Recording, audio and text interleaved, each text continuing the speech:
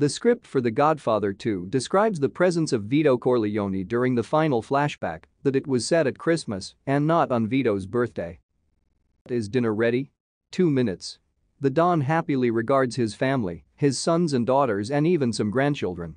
He raises a glass a good life, a long life to all my children and friends. To my grandchildren and those that will be. To our family. They all drink. There are fill glasses, then Tessio proposes a toast. To our godfather. They all drink. Then, when everyone finds out that Michael enlisted and Sonny and Tom start arguing with him, the Don, disturbed but wise and prudent, says. My son wants to talk about this, and so we'll talk, but not at the dinner table. He rises and starts across the room towards his study. Then he looks back.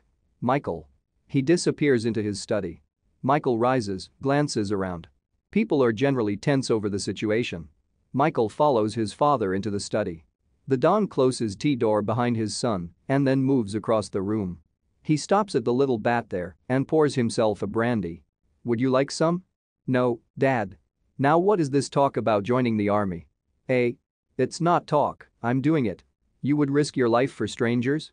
Not for strangers, for my country. Anyone not in your family is a stranger. Believe me, when trouble comes, your country won't take care of you. That's how it was in the old world, Pop, but this is not Sicily. I know. I know Michael. It's Christmas, your brothers and sister are all here, we are happy.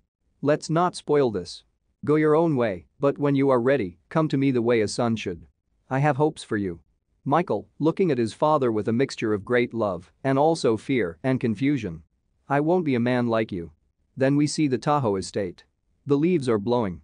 Michael and his young son, Anthony, walk through the grounds of the estate, talking about things we cannot hear.